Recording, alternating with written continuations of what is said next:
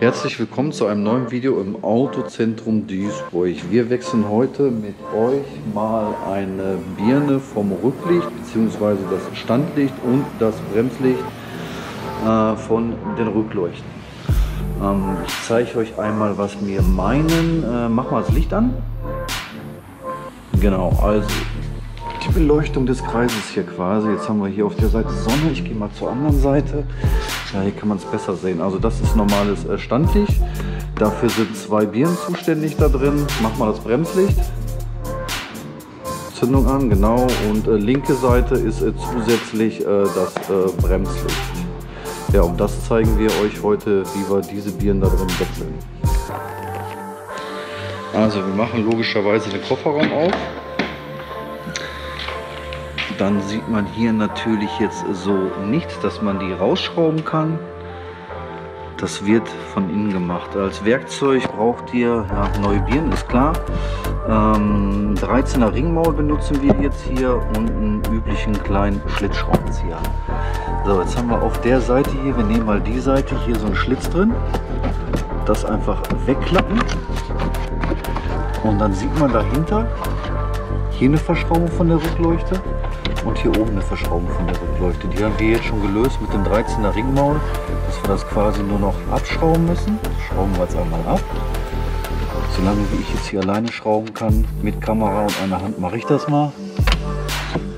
Aber eine zweite Person steht neben mir, falls ich Hilfe brauche. Also abschrauben,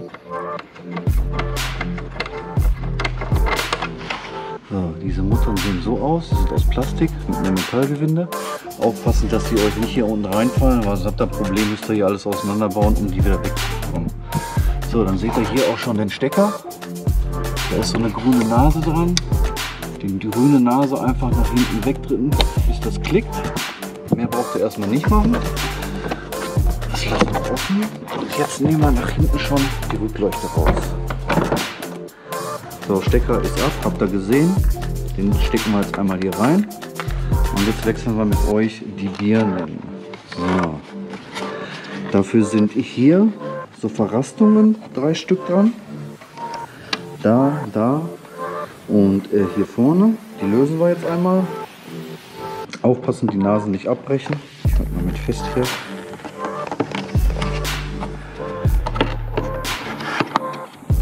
Ja, Nummer 1, Nummer 2. Hier noch, die noch.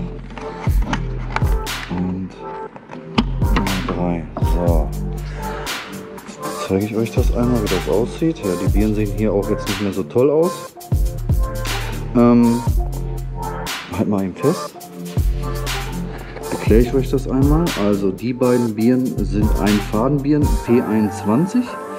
Ähm, die sind für das Standlicht da, also die leuchten beide, wenn ihr das Standlicht einschaltet und die wird zusätzlich angesteuert für das Bremslicht, äh, die leuchtet heller. Ähm, die meisten Autos, die haben da zwei Fadenbirnen drin, bei denen nicht. Also nicht hier irgendwelche zwei Fadenbirnen oder so reinschrauben. Ich mache die mal eben raus, jetzt zeige ich euch das mal, das ist eine ganz normale, ich weiß nicht, ob ihr das sehen könnt, eine ganz normale Einfadenbirne. So, wir machen die jetzt mal beide raus.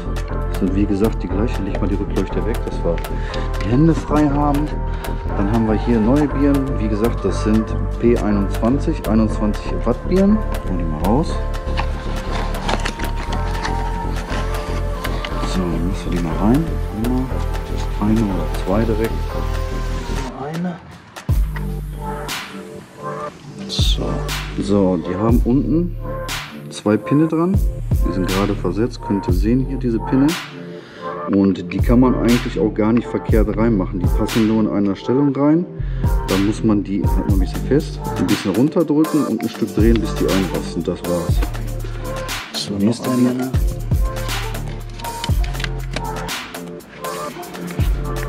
Genau, einfach die Führung suchen, ein Stück drehen, das ist so eine Viertelumdrehung bis die Birne fest ist, fertig. So, was wir hier noch haben, äh, wenn ihr mal kaputt haben solltet, äh, das ist die Blinkerbirne. So, jetzt bauen wir die ganze Geschichte wieder zusammen.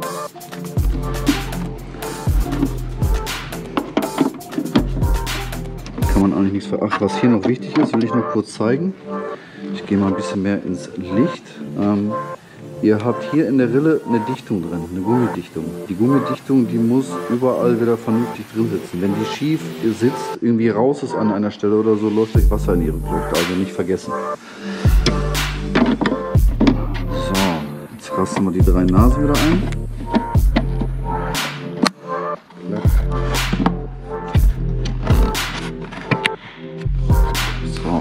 kontrollieren, ob die drin sind. Ja, sind alle drin. So, das war es jetzt schon. Jetzt kann man die Rückleuchte wieder reinsetzen. Kann man nichts verkehrt machen. So, das war's. Einer hält von hinten fest. Jetzt sind wir wieder hier drin.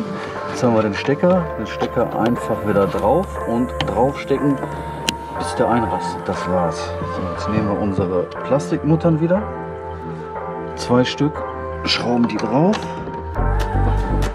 Wie gesagt, aufpassen, dass die nicht runterfallen. Sonst müsst ihr die ganze Verkleidung hier abbauen. So, erstmal handfest. Oben auch.